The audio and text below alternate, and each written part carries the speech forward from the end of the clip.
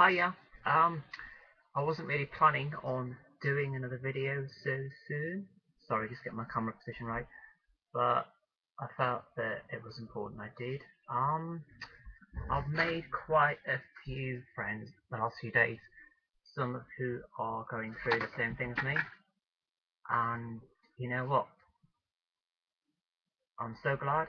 Um, I was kind of I don't mind admitting this. Basically, when I first started living full time as a woman, I kind of wanted to not seek out other transgender people, and not because I have anything against them.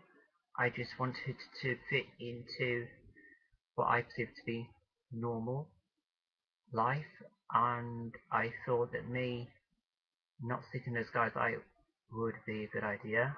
I was so, so wrong.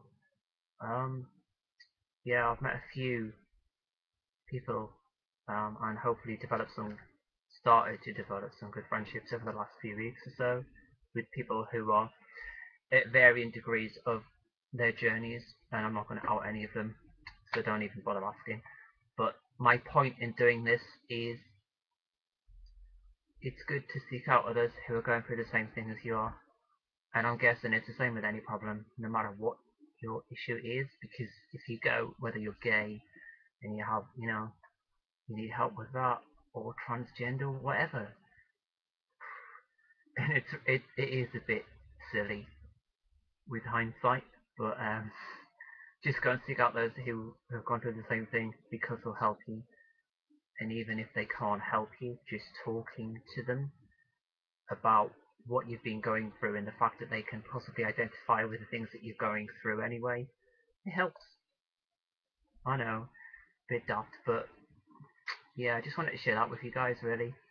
Um, other than that, I'm really happy. Life's still moving along.